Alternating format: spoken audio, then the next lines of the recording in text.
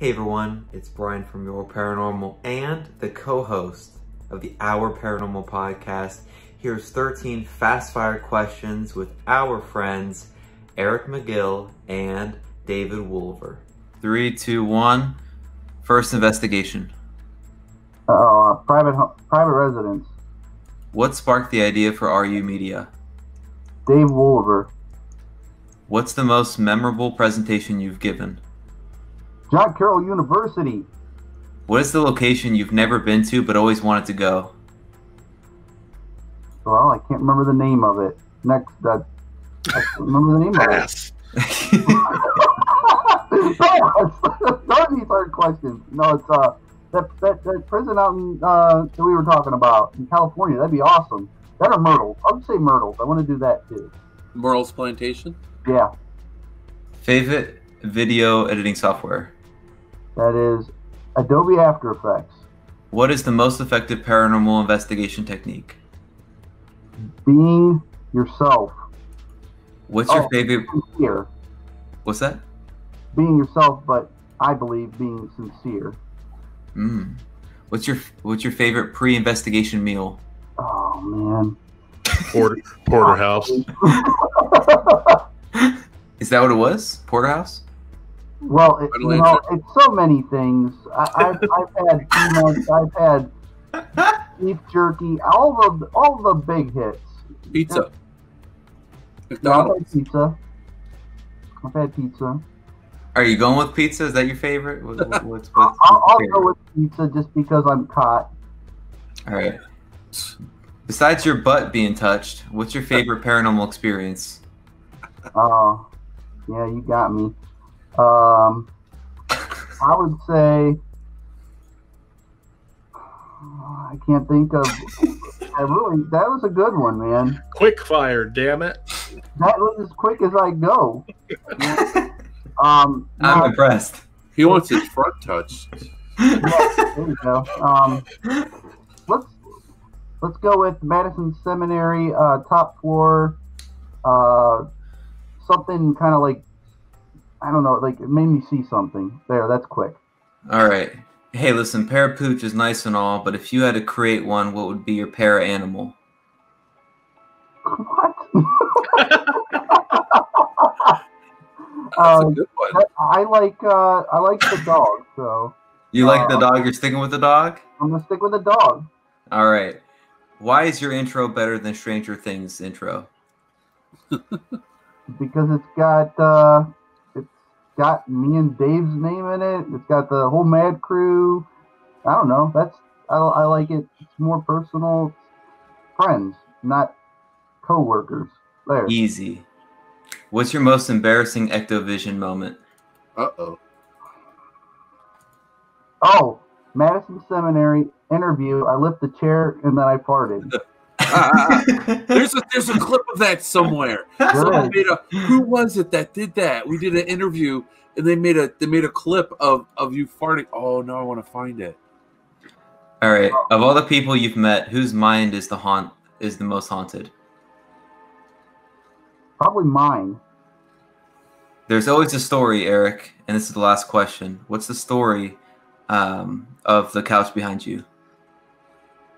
This is the couch that D. Dave Woolever slept on two weeks ago, What? naked. I knew it. Buck ass nude. Casting. I knew it. I knew it. I as soon as I saw that. Whoa. Oh, Lord. And All you look at it, you look at it close enough, you know my big ass can't fit on that First investigation. prospect place. How many people do you think fart during an investigation and lie about what made that sound? Whole cast of ghost hunters. What's worse, a terrible poltergeist or the OBS video system? Uh, tie. Who contributes more percent of the work for RU Media? Eric. I win again. how, how did you get started in the paranormal? Uh, oh, now I'm gonna be not quick fire. Uh, it goes back to experiences as a kid, and then 2010. You know, watching shows and thinking to myself, "Hey, that would be cool. Let's go do that." there you go. What's your favorite piece of evidence then? Favorite piece of evidence? Uh, it is an EVP from Loveland Castle from an old episode of Resident Undead that uh, myself and my wife were a part of, um, where uh, she was in the dungeon and uh, got overwhelmed and had to leave. And after she left, there was no one in the dungeon, but there is an EVP with a very uh, clear woman's voice that says, You get out. And it sounded exactly like that. Oh, Lord.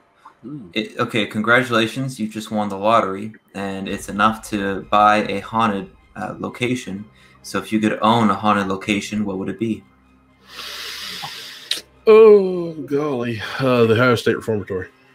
Besides sage soap, what's the best piece of equipment to use during an investigation? Yourself. What is your favorite item on the bulletin board behind you? um, uh, uh, uh, probably a T-shirt. No, I'll, I'll save it. There is. Let me pull this down for you.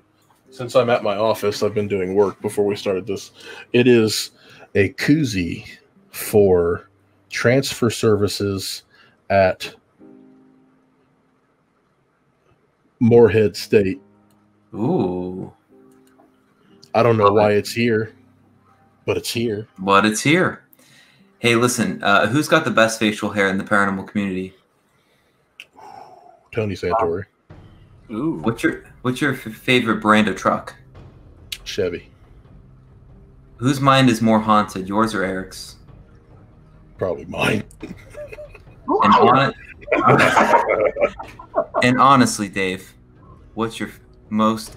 What do you think is the most haunted location you've ever been to? Fairfield County Infirmary. And that's all 13, folks. Here we go. Hey, thank you so much for watching the video. You can see the full podcast by searching on Facebook, Our Paranormal Podcast, all brought to you by RU Media.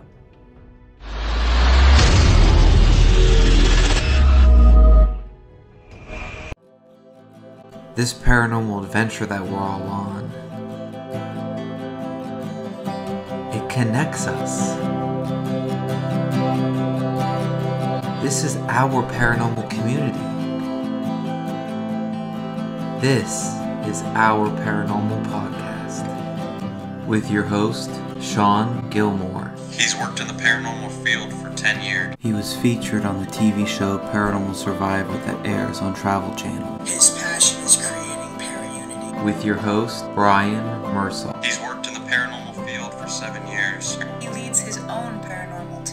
He wants to help people start their paranormal adventure or grow their existing one. This is our paranormal adventure.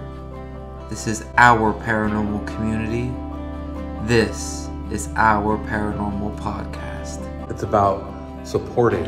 It's about making para-unity a real thing because we all need to support each other within our community. And that's what the show has always been about.